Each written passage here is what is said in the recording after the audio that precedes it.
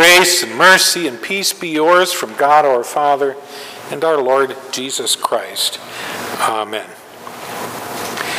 We turn to our epistle lesson, which we have already heard, where we hear all sorts of advice in that final chapter of Hebrews on how to live humbly as faithful Christians. In fact, our readings for these past weeks have been focusing our attention, haven't they, on the great responsibility that Christians have to keep their faith and to keep it living and active and productive. Last week, Jesus reminded us that there's only one way into heaven, the narrow door. And a couple of weeks ago, Jesus told us that that as Christians we may even have family troubles where we, because of the gospel, have to choose between relatives and Jesus himself. And our epistle lessons from Hebrews have also focused on striving to imitate the great examples of faith, such as Abraham and the prophets. Today, as that book of Hebrews draws to a close, the author draws it all together, we might say, under the theme Continue in Christ's humble service. We have a list of commands given to us in our text. Well, none of us likes to be commanded to do things. Why should we listen to these commands? Why would we want to be servants we three people? Why would we want to be servants of anyone, even if it's Christ? And of course, first and foremost, we do want to be servants of Christ because of what Jesus humbly and willingly did for us to bring us to the Father. After all, as Scripture says, we love because He first loved us. The author of this epistle has described Jesus' willing service for us and his suffering for us using a number of striking Old Testament pictures. And today, as he brings the epistle to conclusion, he chooses one more somewhat unusual picture when he says Jesus suffered outside the gate for this reason to sanctify people by his own blood. Jesus was the ultimate outsider. And by following him, that makes us outsiders also, at least as far as this world goes. But then Jesus' whole life was focused outside of this world and instead on the life of the world to come. But he didn't do that for himself. If Jesus simply wanted to focus for his own sake on the other world, the world we are looking forward to, he could have just stayed there because Jesus was eternally begotten of the Father and lived permanently in heaven before he came down to earth. But Jesus came down to this earth specifically for the purpose of being a servant, of following commands, of doing everything it took to rescue us out of this world so that we could spend eternity with him in heaven. When Jesus was in Jerusalem during Holy Week, before he was taken outside of the city, Jesus most certainly, as he said in the Garden of Gethsemane, could have summoned more than 12 legions of angels and kicked everybody else out of the city. Instead, Jesus suffered outside the gate for this reason to sanctify people by his own blood. And Jesus is just as incredibly self sacrificing for you today as he was then. As our text reminds us, Jesus is the same yesterday and today and forever. He who humbled himself to the point of obeying even the littlest and seemingly most insignificant of the laws God had set up is certainly concerned about the littlest and the smallest details of your life.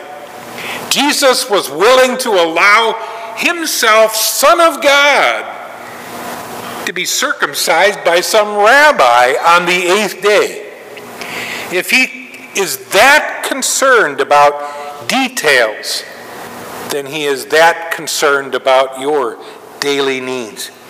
He who let himself be thrown out of Jerusalem will move heaven and earth to keep his elect from being snatched out of his hand and kept from heaven. Jesus knew it was all about eternity above. And so do we, believers, as our text says, for we do not have a permanent city here, but we are looking for the city that is coming. Because of Jesus' love and sacrifice for us, and because we want to follow him all the way to heaven, the author urges us to adopt the same attitude as he did. Jesus suffered outside the gate for this reason to sanctify people by his own blood. So then, let us go to him outside of the camp bearing his disgrace. For we do not have a permanent city here, but we are looking for the city that is coming. In our readings from Hebrews these past few weeks, we've been reminded of a whole bunch of Old Testament history as the apostle pleaded with Jewish Christians to remember the lessons of the faith and not abandon the faith and go back to Judaism.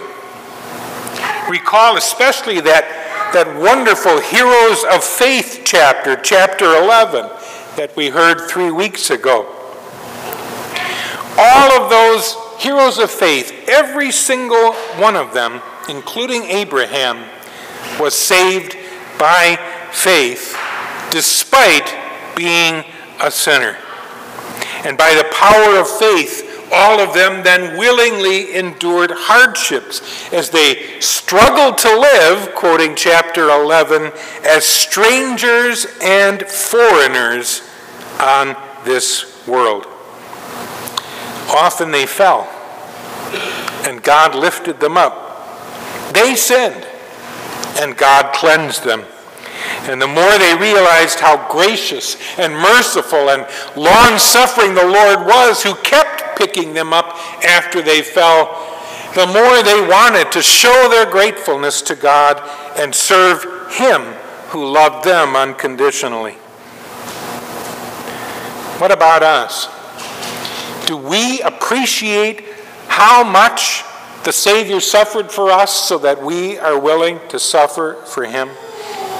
Do we love him enough that we also tremble at his word and strive to obey all his commands? Are we ready to eagerly say, Speak, Lord, for your servant is listening? Are his commands burdensome to us, or is his yoke easy? Well, your flesh gives the one answer, but your spirit gives the other, which is why we need reminders like this text to continue in Christ's humble service. On the last day, Jesus tells us, after he had separated the sheep and the goats, and he has gathered us at his right hand, he will list some of the things that we have done for him in humble service. And each time, as Jesus describes it, he will list how we served him by serving people. I was hungry, you gave me something to eat. I was naked, you clothed me. I was sick and in prison, and you visited me. When did we do that, Lord? Whatever you have done for one of the least of these brothers of mine, you have done for me. Those are the things that our text is reminding us to do now. Confident of the Lord's unconditional love and forgiveness through Christ, we want our attitude to be Thank you, Lord. What can I possibly do to show you my gratefulness? And here is his answer Continue to show brotherly love.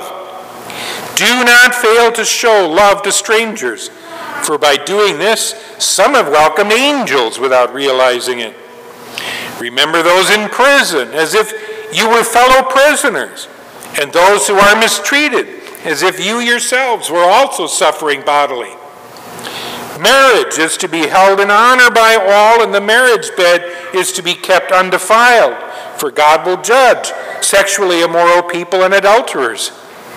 Keep your life free from the love of money, and be content with what you have, for God has said, I will never leave you, and I will never forsake you.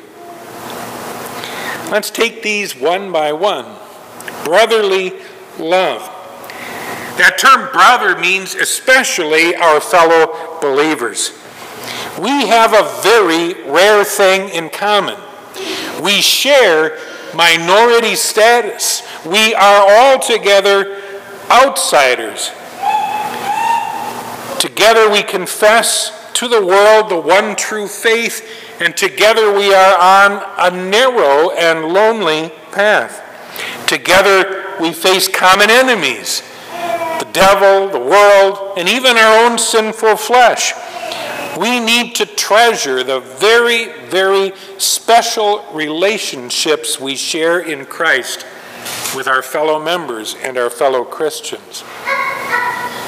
Secondly, show hospitality and do not forget to do good and share with others, for with such sacrifices God is pleased. Some have welcomed angels, as did Abraham the day the three visitors came to him to tell him about the impending doom of Sodom and Gomorrah.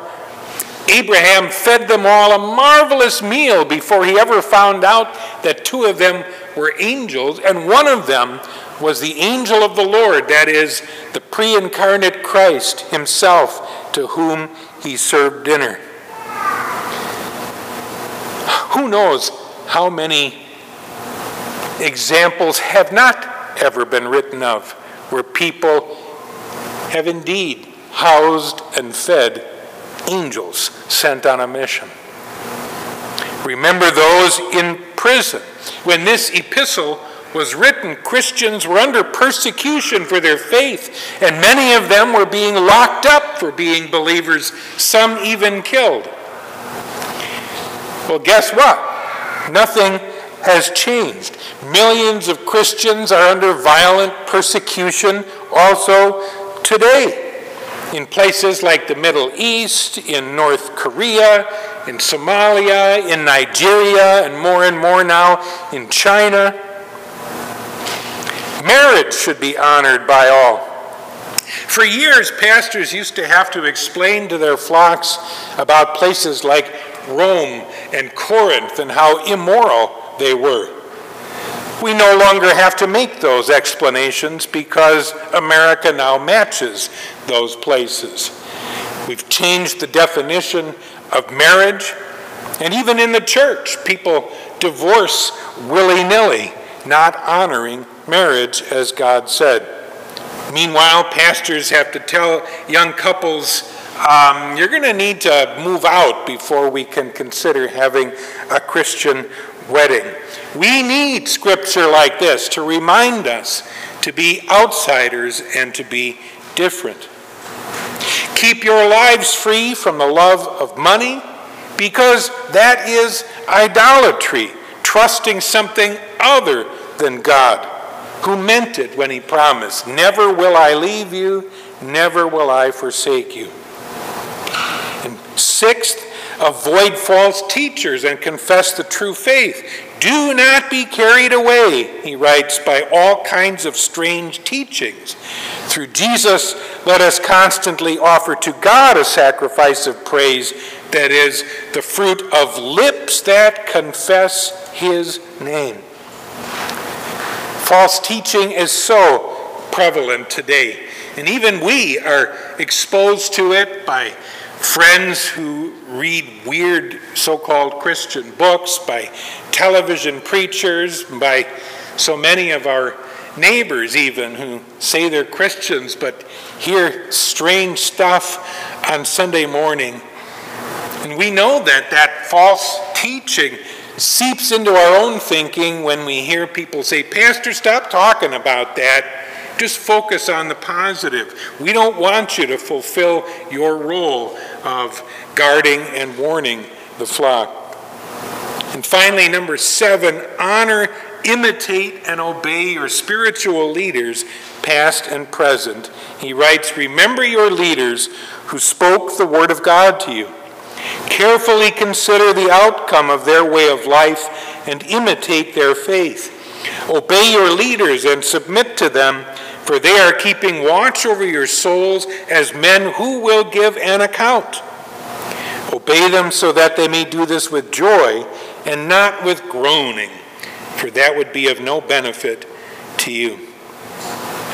As we look at these and any and all of the commands of God, we can't help but be reminded of our many shortcomings, our many sins. And that is God's will, that we are reminded of these so that we repent each day. But then let us also remember that Jesus is the same yesterday and today and forever. He's the same yesterday who willingly shed his blood and gave his life to purify us from all unrighteousness. He's the same today when he comes to us through his word and sacraments, and he will be the same tomorrow when he comes to bring us to the city that is coming. And that is our reason to continue in Christ's humble service. Amen.